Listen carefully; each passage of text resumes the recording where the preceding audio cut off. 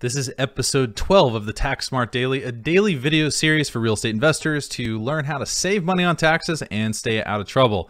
I'm Brandon Hall and I'm wishing you a happy Friday. Hope you have a good rest of your day and a good weekend.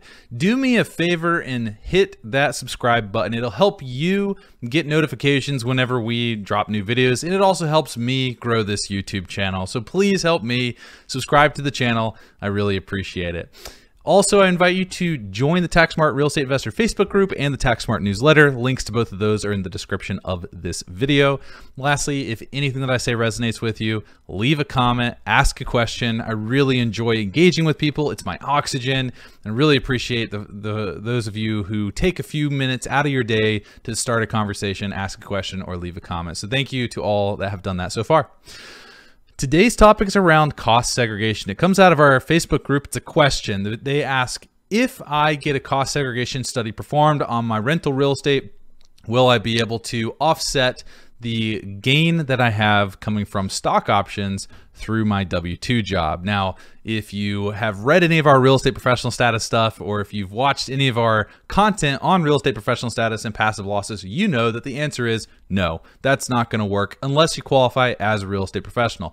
A cost segregation study is the practice of looking at my rental property and saying, hey, the rental property is made up of a lot of components, and those components are not going to last 27 and a half years. So let's do a study to revalue or to allocate value to these components that are going to last a shorter amount of time. So after a cost segregation study, you get a report that shows you the value allocated to your five year property, your seven year property, your 15 year property, and your 27 and a half year property. So basically takes the 27 and a half year value that you have upon acquisition and it reallocates it to 5, 7, 15, and 27 and a half year property. But then you can bonus depreciate any component with a useful life of less than 20 years.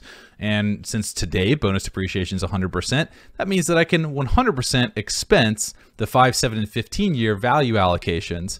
And typically that could be 20 to 30% of, of the total purchase price, depending on what type of property that I buy. So it can be pretty lucrative to buy a property, create this big tax loss via bonus depreciation and cost segregation study, as long as I can actually use that tax loss.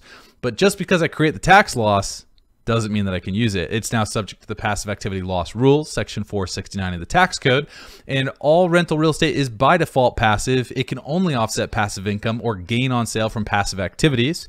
My stock sale from Apple or the options that I receive through my W-2 job or the RSUs, those are not passive. Those are those are considered non-passive, so they're not able to be offset by my rental losses. So what that means is I have to move my rental losses from the passive bucket and into the non-passive bucket. And there's a couple ways to do that. The two main ways is to, are to earn less than $150,000 and qualify for that $25,000 passive loss allowance. The other way is to qualify as a real estate professional and materially participate in my rental activities, which is going to be really, really, really hard to do if I have a full-time job and if I'm not married. But if my spouse is staying at home, maybe with the kids, uh, then my spouse could qualify as a real estate professional potentially, as long as they um, spend 750 hours in real property trades or businesses and more time in those real property trades or businesses, and they come back and materially participate in the rental activities. So.